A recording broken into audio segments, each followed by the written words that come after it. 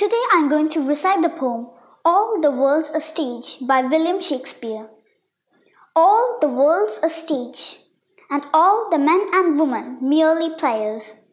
They have their exits and entrances. One man in his time plays many parts, his acts being seven ages.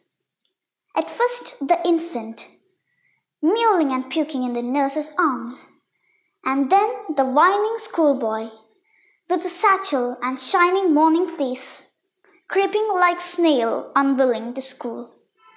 And then the lover, sighing like furnace, with a woeful ballad made to his mistress' eyebrows.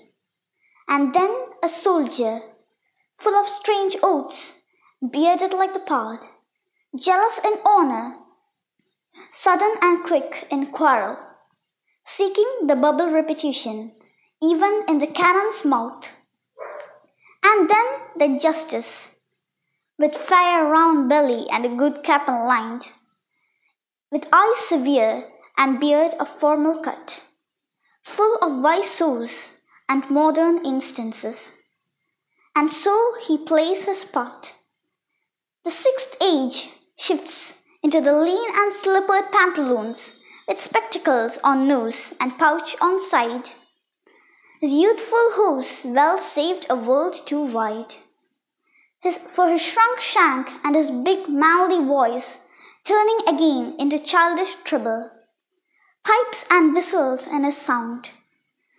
And the last scene of all that ends the strange eventful history in second childishness and mere oblivion sans teeth, sans eyes, sans taste, sans everything. Thank you.